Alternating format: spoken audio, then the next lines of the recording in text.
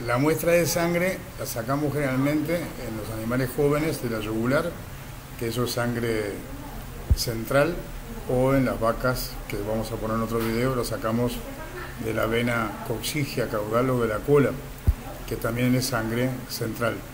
Si utilizamos sangre periférica, se saca de la oreja eh, con un capilar para poder comparar resultados de sangre central y periférica